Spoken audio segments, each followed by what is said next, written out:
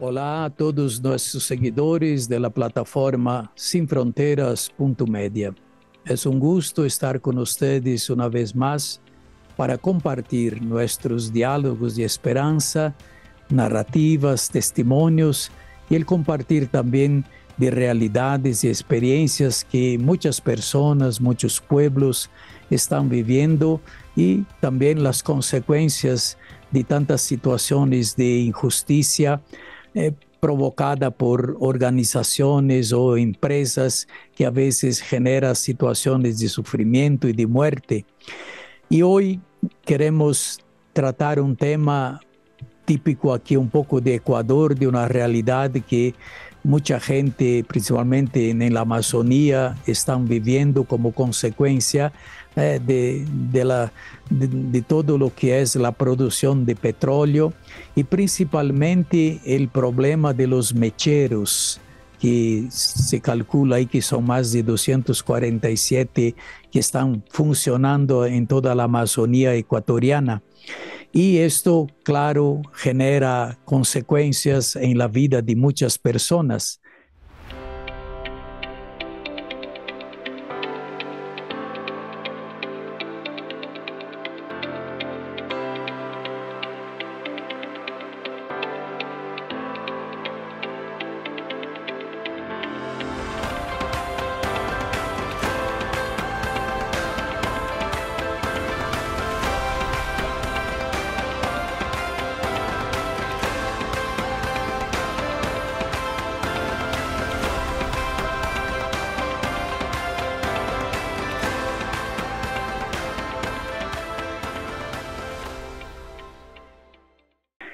Hoy tenemos el gusto de tener con nosotros a Leonardo Narváez Luarte.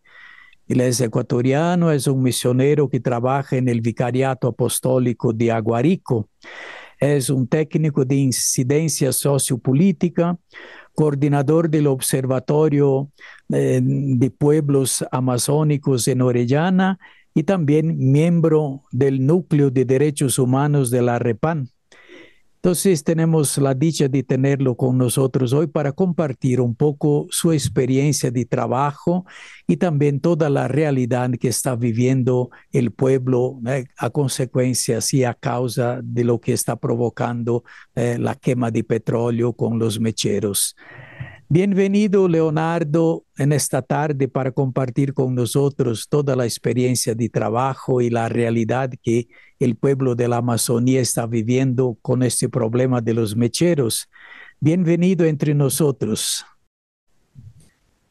Muy buenas tardes, eh, estimado padre, que nos, eh, pues nos ha invitado, padre Alcides, y eh, pues en su programa Sin Fronteras, que pues eh, vamos a compartir parte de nuestra experiencia de actividades y luchas también en defensa de la casa común, en defensa de los derechos humanos de los más pobres, de los vulnerables, eh, asemejándonos también al, mensaje del Evangelio, ¿no? Que anunciamos, eh, acompañamos a las personas, cuidamos la casa común pero también denunciamos cuando es algo injusto y cuando vemos el atropello continuo a personas y a esta creación que Dios eh, nos ha dado. Muy bien, eh, en estos días la Corte de Justicia ecuatoriana dio razón a las nueve niñas que había demandado al Estado por las consecuencias vividas del caso de los mecheros, que es una larga historia desde hace muchos años en la Amazonía. Eh, ¿Usted podría compartir un poquito cómo, cómo, está esta realidad actualmente y, por qué eh, estas nueve niñas, ah, después de mucha lucha, eh, han logrado que la Corte de Justicia diera derecho a ellas? ¿Y por qué esto? Ya, como sabemos, en el Ecuador, sobre todo en la parte amazónica, el primer pozo petrolero, 29 de marzo de 1967, lo que en su momento se denominó el oro negro, recordemos al ex presidente de esos años, Rodrigo Lara, y donde se eh, idealizó que la riqueza estaba en el subsuelo, estaba kilómetros adentro y no pensaron que la, riqueza, que la riqueza estaba fuera, es decir, en las plantas, animales, ríos, aguas. Desde ahí viene esta idea de que el oro negro, el petróleo, trae desarrollo a las comunidades, trae el desarrollo al país, incluso al mundo entero. Hemos visto eh, no solo en Ecuador, sino en todo el mundo que la industria hidrocarburífera en su mayoría, si vemos eh, algunos pozos que tienen en Medio Oriente, utilizan esta forma de quemar, es justamente mm, porque recordemos que tres materiales salen de cuando se perforan pozos petroleros, agua, agua diríamos contaminada, petróleo y también sale gas. En, en, algunas, en algunos estados se ha logrado eh, utilizar este gas, no quemarlo, sino convertirlo a través de una licuación de GPL, eh, que sirva de uso doméstico o para el movimiento de turbinas. Entonces, este es un poco el escenario por qué los mecheros están en la Amazonía ecuatoriana. Cabe recalcar que en el 2020-2021 teníamos en la Amazonía 447 mecheros cuando se empezó esta demanda de manera legal.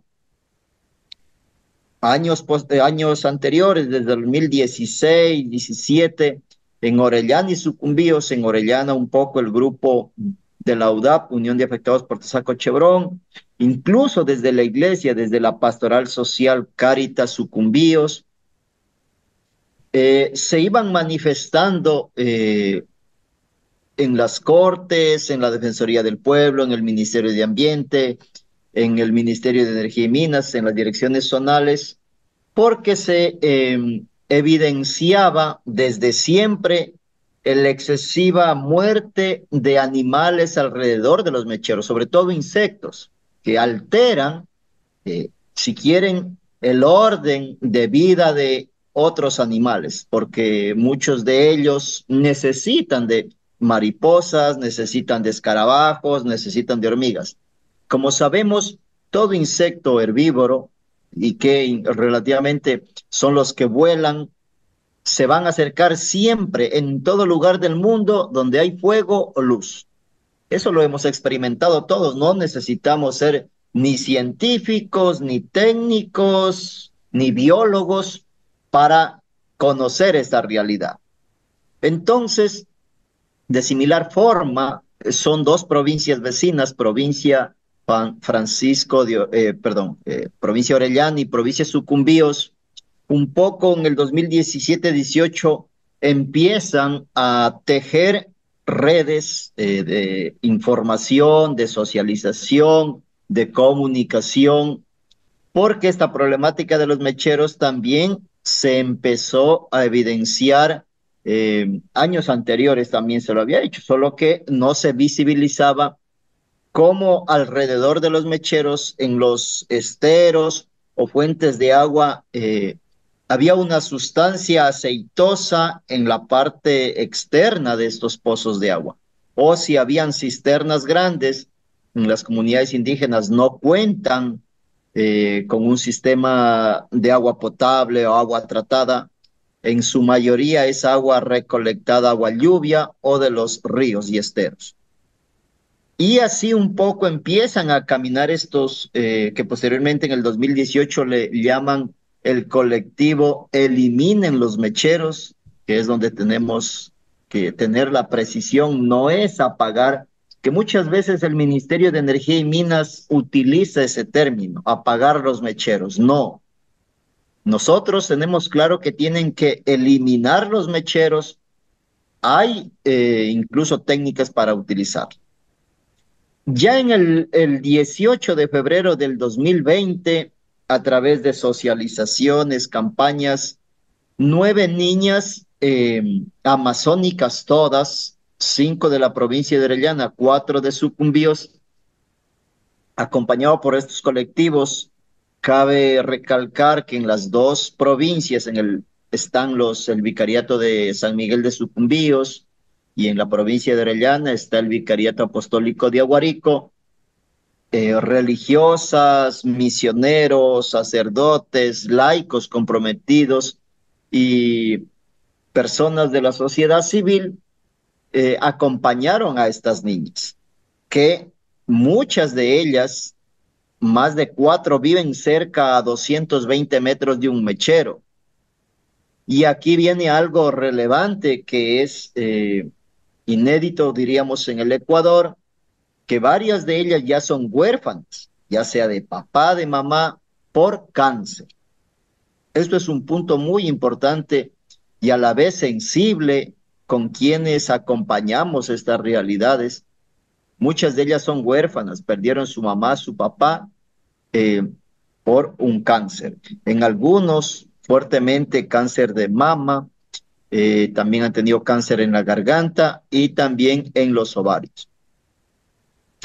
Ya en el 29 de julio del 2021, el Tribunal de Justicia de Sucumbíos emite esta sentencia a favor de las nueve niñas y establece que el Estado ecuatoriano ha vulnerado el derecho a un ambiente sano y, eh, y ecológicamente equilibrado, el derecho a la salud, también el derecho al agua. Eso reconoce este tribunal de sucumbíos. En las dos instancias se ganó. Y dentro de ello, así brevemente, eh, decía el juez en su resolución que hasta el 29 de marzo del 2023 debían eliminar los mecheros aledaños a centros poblados. Y todos los mecheros eh, eliminar de forma progresiva los que no estaban eh, a sectores, en, cerca a sectores aledaños. Entonces ahí venía la gran interrogante, ¿cómo se entiende o se definen los sectores aledaños? Según el, el representante del Ministerio de Energía y Minas dice, un mechero solo afecta a un kilómetro a la redonda. Lo demás no pasa nada. Pero hay estudios, no solo de Ecuador, hay estudios em, de Europa, sobre todo la universidad, incluso hay una universidad de Navarra, eh, lo han hecho en Estados Unidos, estudios donde se ha comprobado de que incluso un mechero tiene el impacto de 5 a 7, incluso hasta 10 kilómetros a la redonda. Entonces, no podemos hablar de que se eliminen los mecheros, los que están o aledaños a centros poblados, porque todos estamos cerca de ellos, a tres, a cinco, a dos kilómetros. Hay sectores como en Sacha, están a 40 metros de las casas, cuatro, tres mecheros. Entonces, em, este es un poco el, diríamos, lo que resolvió el juez que debía cumplir.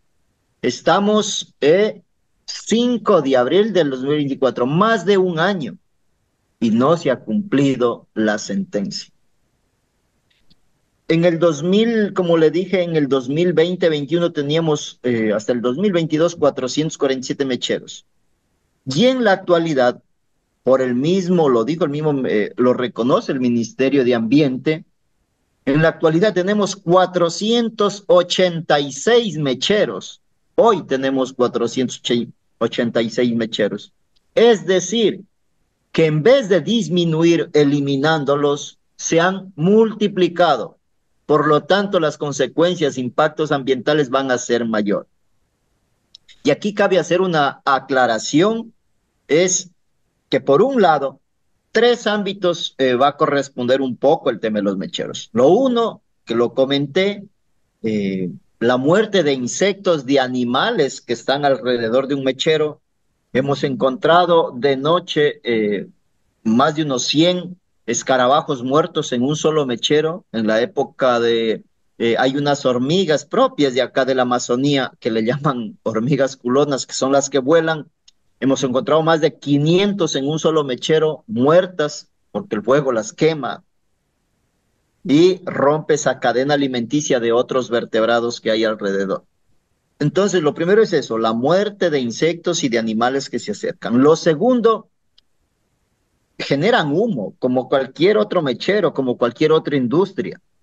Y este humo se evapora o se extiende. Aquí en la Amazonía la precipitación es alta, llueve continuamente, cada dos días, cada día, días seguidos.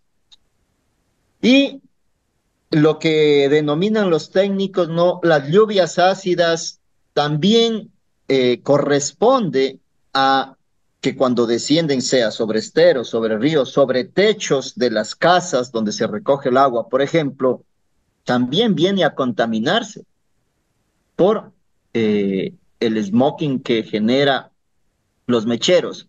¿Y qué es lo que contienen estos mecheros que se ha comprobado también? Más de 240, 250 eh, eh, partículas tóxicas para el organismo, entre ellos butano, metano, dióxido y otros que le hacen mal al organismo. Entonces, lo segundo es que contaminan el agua, ya sea de esteros de ríos, el agua que se eh, recibe.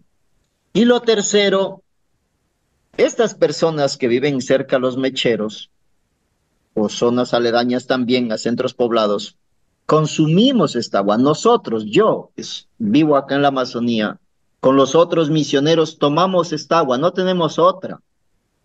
O bien eh, captamos, eh, aquí en el Coca en la actualidad se capta en un río que se llama Payamino, ¿no? Este, la ciudad del Coca está en medio de tres ríos, el río Napo, que es el grande, ¿no?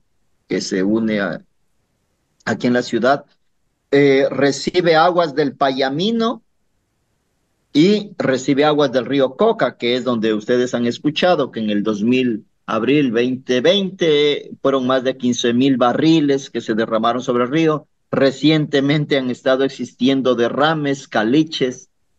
Entonces ya no se puede, no podemos utilizar en, la ciudad del Coca con más de ciento, eh, perdón, la provincia de Orellana tiene 167 mil habitantes, la ciudad del Coca, donde están bañados por estos tres ríos, tiene más de 80 mil habitantes. Ya no podemos captar agua del río Coca porque está contaminado por el excesivo eh, derrames de petróleo. Y en el río Payamino, que es donde en la actualidad se está captando, también ha surgido derrames y hay, aunque en menor cantidad, pero también hay mecheros. Y aquí algo que está una fiebre en el Ecuador, no es de desconocimiento de la población, no hay desconocimiento de las autoridades, si lo hemos visto en redes sociales, la minería ilegal está en su máximo esplendor y esa es agua la que tomamos, la que consumimos. Asimismo, en las comunidades donde están los mecheros no hay plantas de tratamiento de agua. Lo que hacen es captarla, emposarla, limpiarla y, distribuirla. Entonces también, claro, es eh, lógico entender ¿Por qué las personas de la Amazonía son más vulnerables a sufrir cáncer? Porque están también con un agua de mala calidad. A diferencia de la sierra, Azuay, eh, Chimborazo, Pichincha, que captan agua desde los páramos. En algunos incluso hay también minería, que es otro problema que tienen en los páramos. Pero bueno, algo es mejor el agua. Aquí no. Usted hablaba un poco y eh, la cuestión de las enfermedades, principalmente de muchas personas con cáncer, ¿no? que provocada por, por la quema de gas ¿no? y todo esto. Eh, más o menos el porcentaje así de personas. Ya. Eh, dos aclaraciones aquí. Lo primero es que también en la sentencia el juez le ordenaba al Ministerio de Salud Pública eh, realizar un estudio médico que establezca el grado de afectación a la población debido a la actividad de extracción petrolera. Sí. Y asimismo, hasta, el 2000, hasta enero del 2022 decía implementar una unidad oncológica para tratar el cáncer en el hospital, ya sea de Orellano o Sucumbíos. Ninguno de las dos se ha cumplido.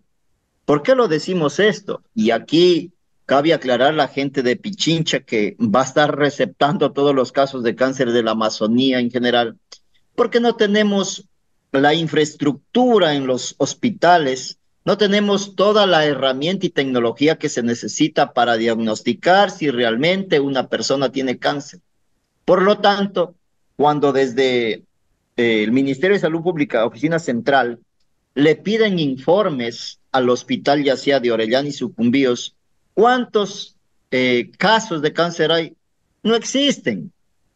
No porque no haya, sino porque no pueden diagnosticarles porque no tienen toda la tecnología y todos los instrumentos y exámenes necesarios para determinar una persona con cáncer. ¿A dónde tienen que irse? A Quito. Y es en Quito donde les diagnostican cáncer. Es allá, allá está Solca, está otros hospitales, el Eugenio Espejo, donde se diagnostican. Entonces, cuando el Ministerio de Salud, como no tiene datos que hay personas con cáncer acá, tranquilamente responde diciendo, y que lo ha dicho, incluso el ministro, el ministro anterior lo dijo, es que en Orellana no hay casos de cáncer, por lo tanto, no amerita un, un hospital oncológico, porque no hay casos. Eh, la clínica ambiental junto con la UDAP, eh, lo pueden incluso hay en internet o podríamos después compartir esta información junto con, recordemos que en el 2019, 20, 21 estuvo también una universidad de, de Londres, hicieron estudios de personas que iban a Quito, que ya tenían su, su diagnóstico de cáncer, se encontró que entre Orellana y Sucumbíos eh, había más de 390 personas con cáncer. Pero de este, de este 100%, de entre estas dos provincias, el 72,6% son mujeres. Es decir, de cada tres casos de cáncer, dos son mujeres.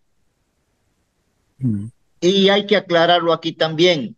Es, uh, cuando vino el ministro, el ministro de Salud, lo dijo, bueno, es que aquí las mujeres son muy promiscuas, por eso es que tienen cáncer eh, de útero.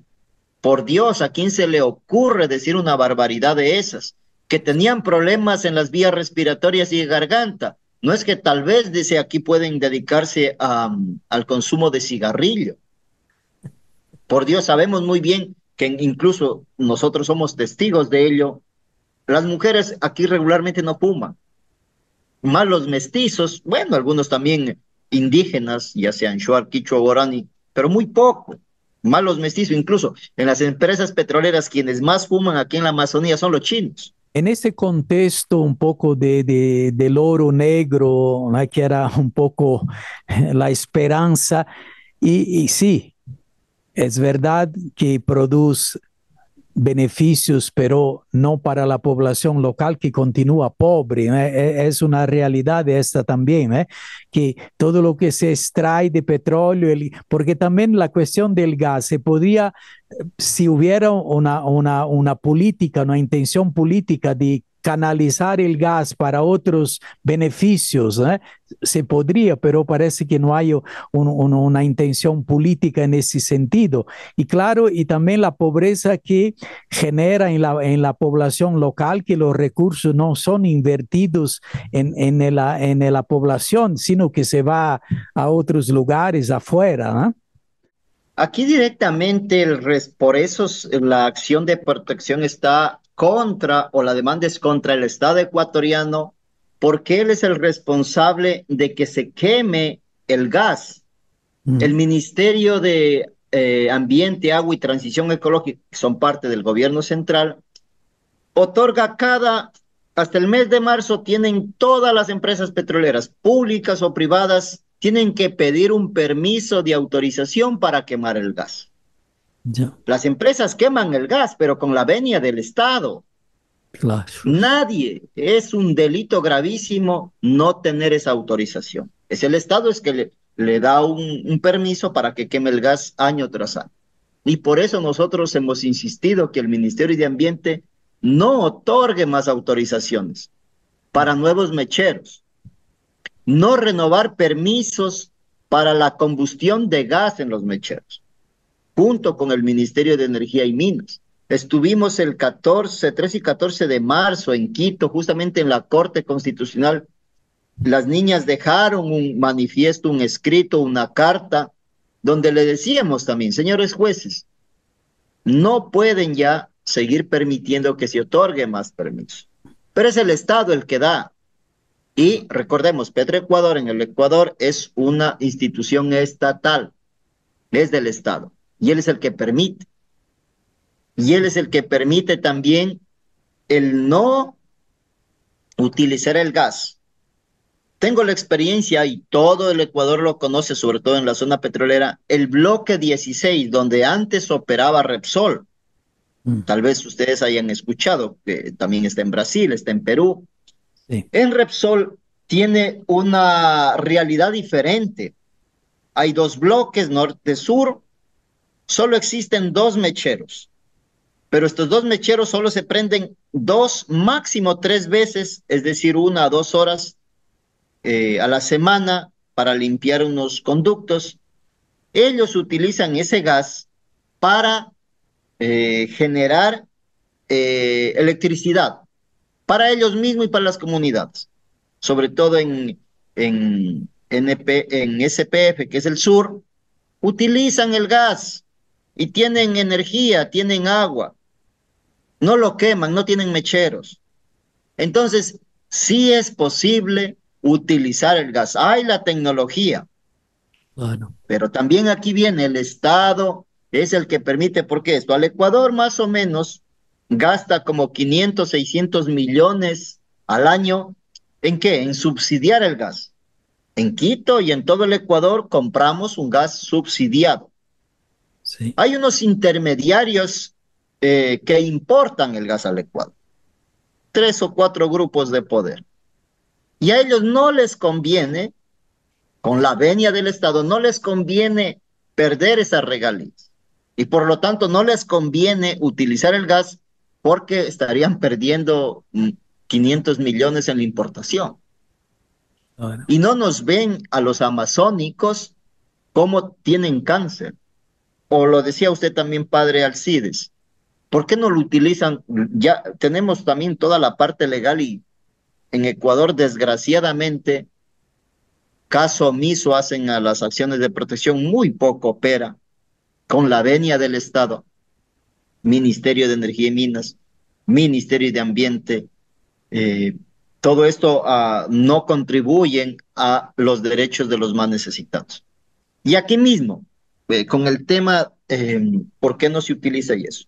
Hay un presupuesto participativo, la ley eh, que le llaman acá la ley amazónica, ley de la circunscripción territorial amazónica, da unos porcentajes de presupuesto participativo de acuerdo a las regalías de por la extracción petrolera. Dice que el 58% será para prefecturas, 28% para GAT cantonales, 10% para GAT parroquiales y el 4% para la CTA, que es una una secretaría técnica que está con su sede en Puyo.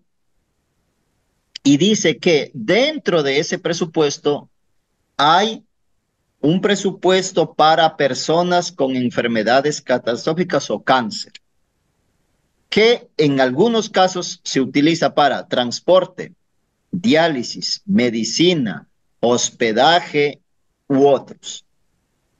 Es una, o era una manera un poco de eh, a paliar eh, de las personas con cáncer.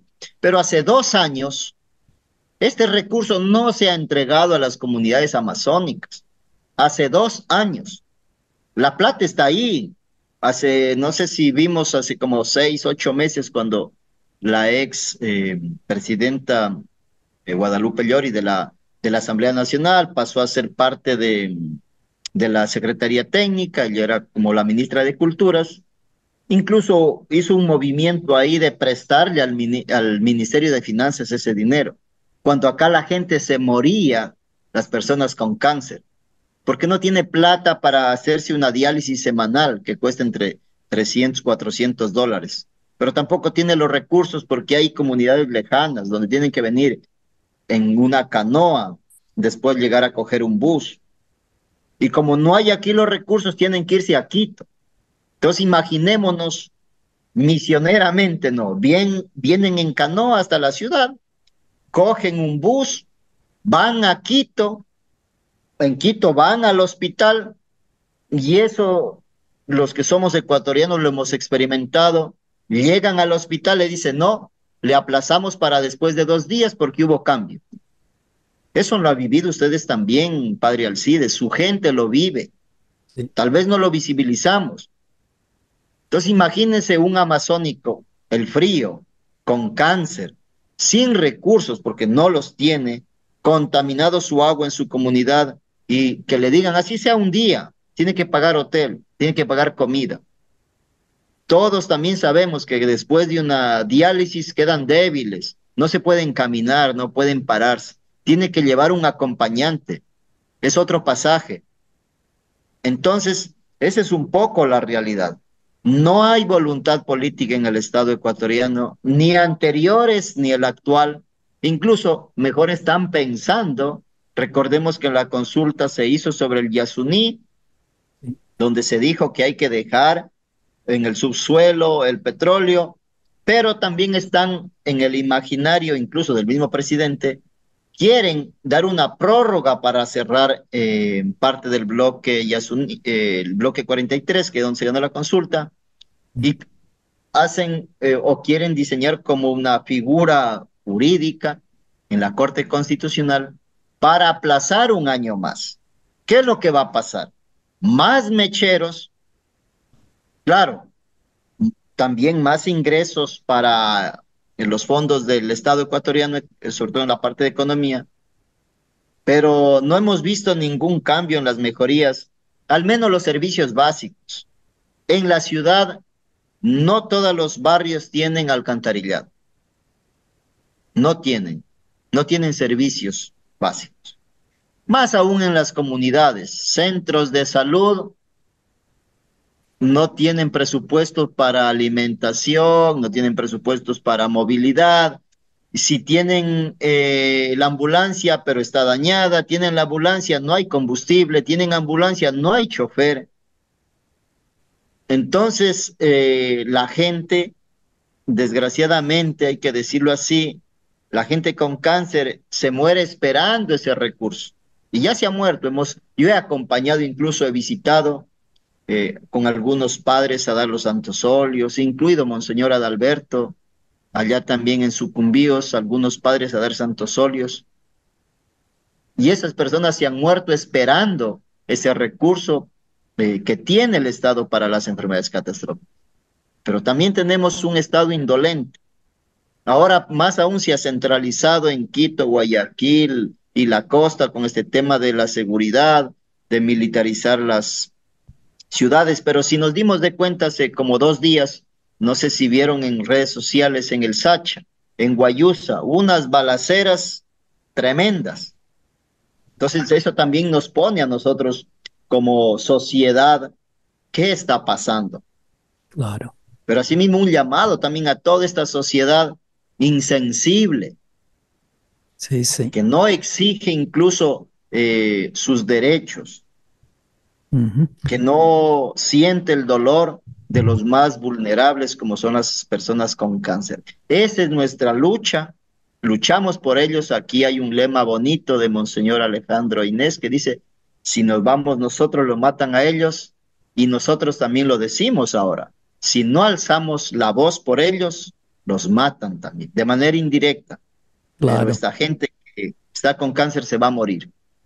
Sí, y así dentro de todo ese contexto de, eh, de, de no vida, de lucha, de denuncia, también ustedes como iglesia hacen todo un trabajo de concientización, de apoyo, de cercanía a esta realidad para también ser un, una presencia de esperanza en medio también de tantas situaciones de muerte. ¿eh? ¿Cómo es el trabajo que ustedes como iglesia misionera ahí en el vicariato hacen? Sí, eh, gracias a, a, Dios tenemos un, un pastor, un obispo sensible, eh, con olor a oveja, se lo dijo el Papa hace poco que estuvo allá en Roma, le recomendaba, nos decía él, prudencia, pero también amor por los pobres.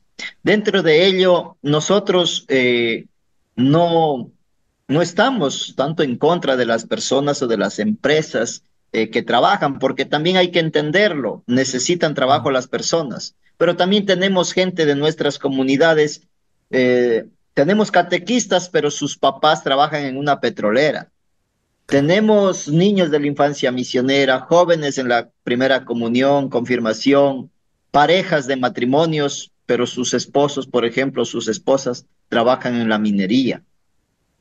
Entonces, lo que sí nosotros somos claros, y Monseñor Adalberto también lo ha dicho, nuestro anuncio es la vida, nuestro anuncio es el Evangelio, nuestro anuncio es la justicia, porque una justicia que tarda no es justicia.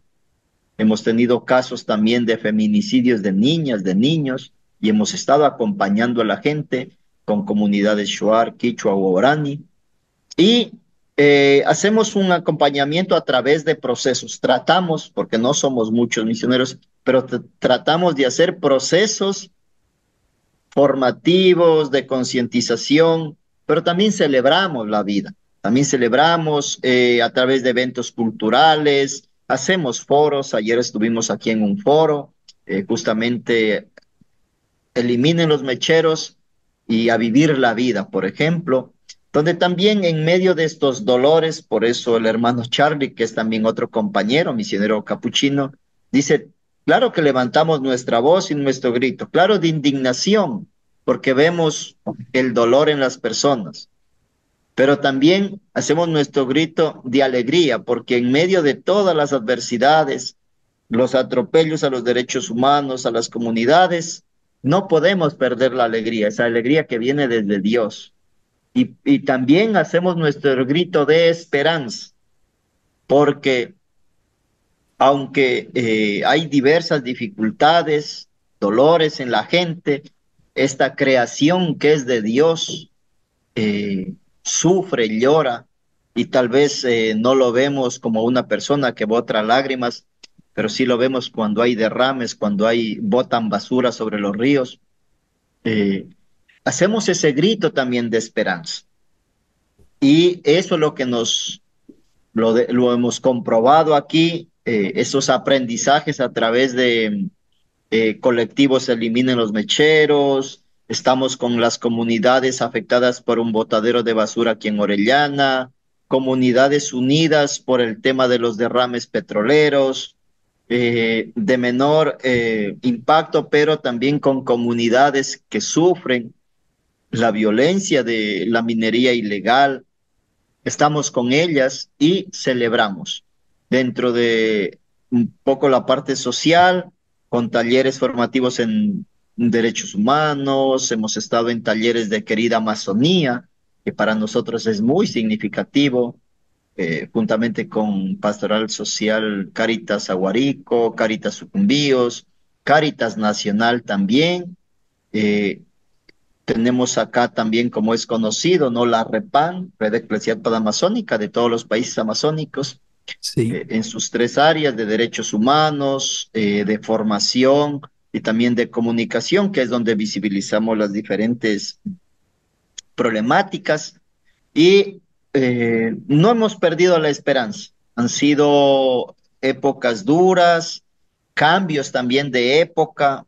Es diferente ahora, todo es digital, todo es eh, eh, diferente a los años de 1950, 60, 70, donde vinieron los primeros misioneros.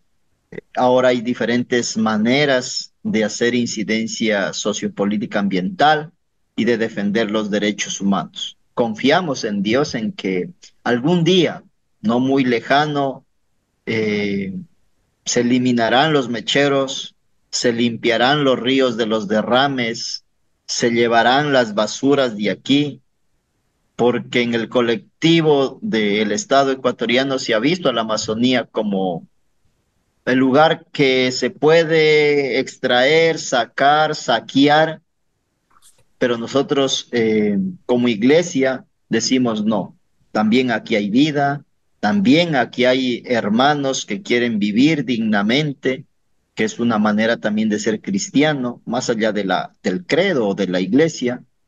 Y es otra etapa bonita que hemos hecho. En los colectivos no solo somos católicos aquí, también hay de otras denominaciones, pero que nos une eh, estos, estas causas sociales comunes, como es la creación, como es el ambiente, como es los vulnerables, los más olvidados. Y siempre nuestro obispo, Monseñor Adalberto, nos anima.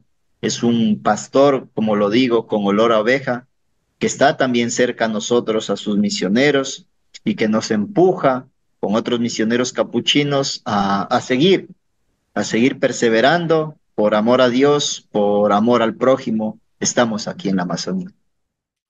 Qué bueno, Leonardo. Sí, para ir concluyendo un poco todo este compartir de toda la lucha, las esperanzas y también eh, la, la, la, realidad que vive este pueblo, solo unas palabritas así de, de ánimo, de esperanza para decir, sí, ya la dijiste, pero para confirmar esto que vale la pena continuar la lucha porque la Amazonía es vida ¿eh? y, si, y si quitamos y si la destruimos con los mecheros, con la extracción del petróleo que causa tantas enfermedades y también heridas en el pueblo, claro, ¿eh? uno puede decir, no, ¿para qué?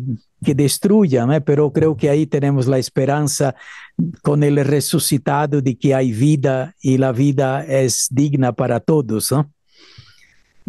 Sí, eh, nuestro mensaje también en Pascua, que estamos ya en un tiempo pascual, por eso incluso hasta las formas de celebraciones son eh, de alegría, de compartir.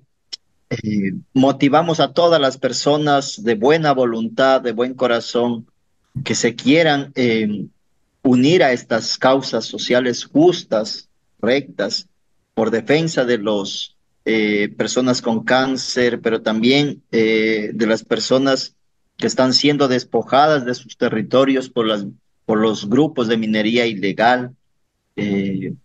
estamos de este lado de la vida, donde queremos y soñamos una iglesia también unida, abierta, para celebrar la vida.